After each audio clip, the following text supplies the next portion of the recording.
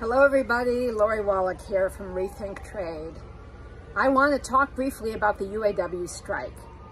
For folks who haven't followed labor history, the United Auto Workers are part of the reason we have a damn middle class in this country. Very, very brave auto workers decades ago sat down in their factories after other auto workers trying to strike had been beaten, killed, shot, and these workers basically created the modern labor movement that created the modern middle class and now today we see the stand-up strike where the UAW is trying to make sure that the workers get some of the amazing profits that these companies have gotten, especially the ones that were bailed out by the US government.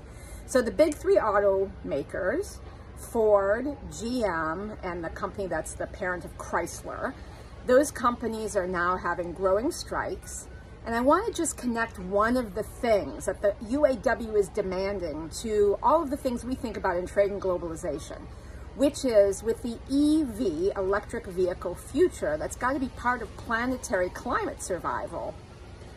Are those cars going to be made with union labor?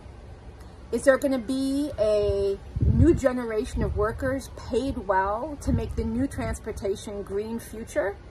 That is one of the demands of the UAW. And that's directly linked to the trade situation because right now, a huge amount of the imports of the batteries for EVs and increasingly EVs being made are in China.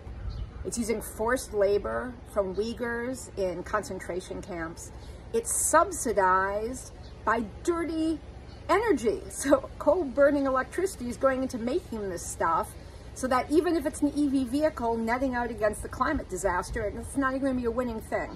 And so we need the trade rules to basically then support these brave strikers who are going to fight to make sure that cars made in the EV future are made by union workers. We need to also do the work to make sure that trade rules make sure that there's a space for EV cars that are made meeting the standards for the environment for working people that actually make for a sustainable future economically and environmentally.